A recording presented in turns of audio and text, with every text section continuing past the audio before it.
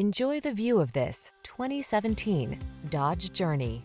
This vehicle still has fewer than 50,000 miles on the clock, so it won't last long.